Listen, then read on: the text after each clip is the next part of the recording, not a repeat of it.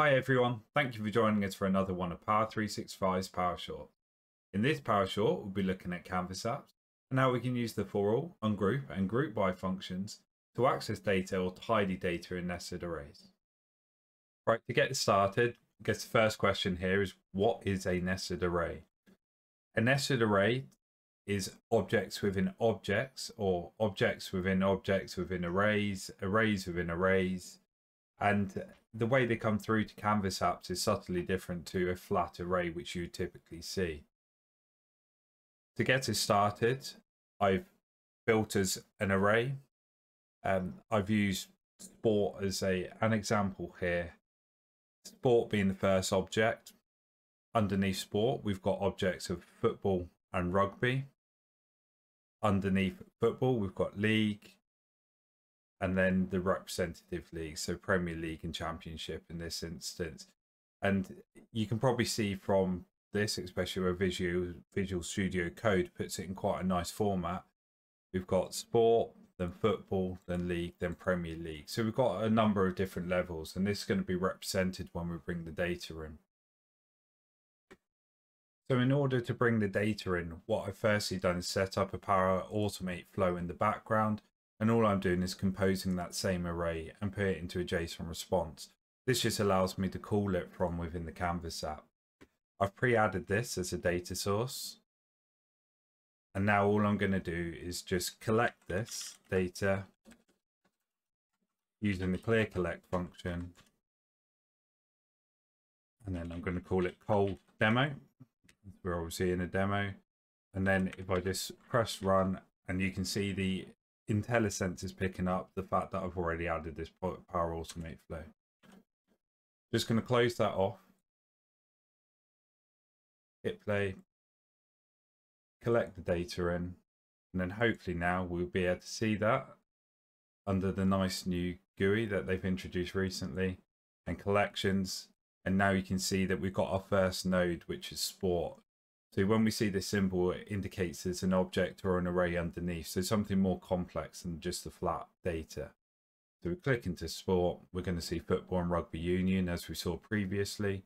Clicking into football, you can see League, Under League, Champion League, Championship and Premier League. Click on Premier League, then we've got the representative teams. So what we're going to try to do today is get the Championship and Premier League teams and put them into this drop-down menu.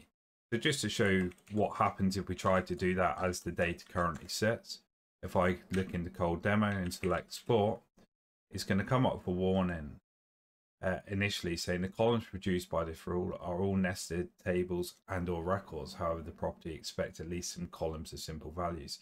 So this is what I'm saying about the nested data being complex data. If I try to move through this, as you typically do in other sort of formats in JSON, you can see it throws an error and it doesn't give me any further options. Uh, and this is prime example where data coming in externally in nested and complex scenarios and we can't easily access the data to use within our Canvas app. So in order to get the data into a format that we can use within the dropdown, I'm going to use a for all loop. And, and this is the first part of our flattening process in the data. So putting that data in a more simplified format. So the for all loop is a loop. It, it goes through data sources and it goes through each record at a time. And the reason this is great is because it means that we can go further into those records and pull out data sources uh, essentially make our own collection from this so following the reference at the top we're going to point it out our data source so our data source at the moment is called demo this is the table that we're going to be looping through and then I'm going to use my first part of formula as a collect. So it's worth noting here that you can't use clear collect and in order to get the same functionality uh, we just need to complete the for all and then put a clear at the top.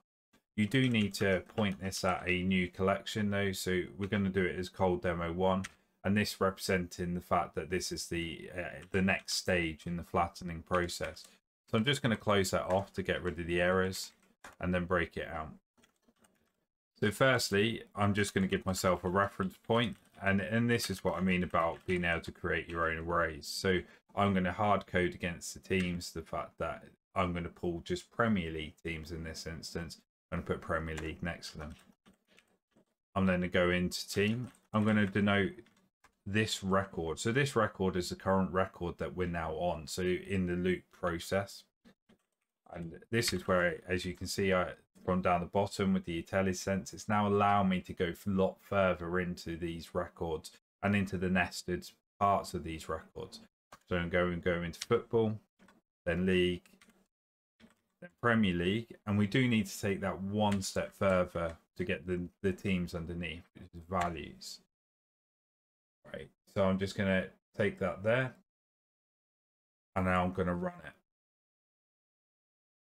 So if we go and look at that data now that it's pulled through, again up into collections, so now you can see we've got this new array, so cold demo one, or new collection I should say, and under cold demo one we've got league, Premier League, which is the value I've got in, and then we've still got a node which is team, but as you can see here now we've got just those Premier League teams underneath. So we have gone away and we flattened that data. It's still within a node, and this is where we need to take an additional step.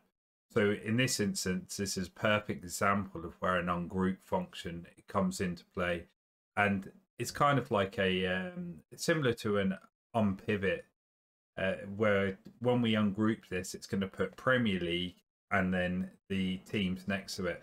And this is really why I wanted to put the Premier League element in against the team is because when we now take that data out, all those Premier League teams are going to have Premier League next to them, and that's great.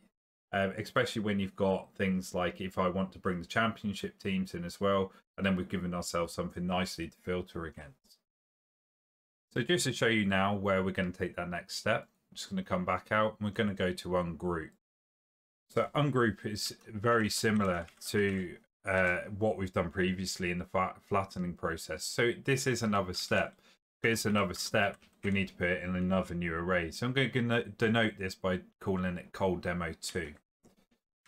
And then under cold demo 2, I'm going to use the ungroup function now. So ungroup is literally going to take what's in that node and put it against whatever's currently next to it. So in this instance, Premier League. So what we should see after this is Premier League next to each team. So I'm going to point that at the data source, which is cold demo one. So the first stage of our flattening process. So this that was the table that we've created for our for all loop. And then what we do, we need to tell it the group name. And as you can see here, it's already making a recommendation on the IntelliSense. The team being the, the title column of what what we want to ungroup essentially. So that's the data that's in the node. So just going to wrap that. And then we're going to go, we're going to just click ungroup, which is obviously going to run and create this third collection of cold demo 2. So I'm going to go up into collections. And now you can see we've got this additional collection of cold demo 2. And then fingers crossed, then there we go. So we got Premier League next to AFC Bournemouth, etc. So the, the, Premier League teams that was underneath. And now this is is a flattened array into usable data that we can use. And like I said previously, I purposely put the Premier League team in against it in this instance. So if I was to do this again for the Championship teams, I would have something naturally to filter against. Um, and just to show you that we can now use that, I'm going to go into here and we're going to point it at that new step, which was cold demo 2. And then I can just point it at the value header, which will be the teams. And there we go. Got a nice flattened and access to those now. And that, that's great for flattening process. Right, so just to finish off nicely, I'm going to show you the group function now. The group function is the exact opposite to ungroup. That means that we're going to look to put the data back to where it was before we ungrouped it. So I'm just going to show you the collection first. So this is how we expect it to look. So we're going to convert our cold demo 2 data essentially back into cold demo 1 where you've got Premier League and team next to it. So I'm just going to come back out. I'm going to select group. I'm going to create another new collection, which will be cold demo 3 and this time we're going to use the group by function to put it back into that format. So we're going to use the cold demo 2, which is the ungroup data. and then we're going to put the sorter or the column name that we want to group by.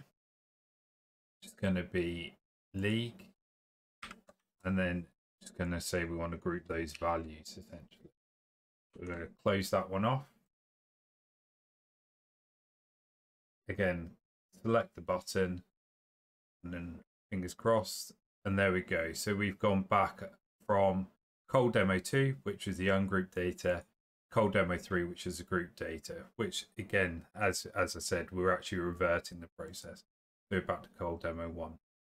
But anyway, hopefully that'll be helpful for you. And thank you for watching another one of Power 365's Power Shorts.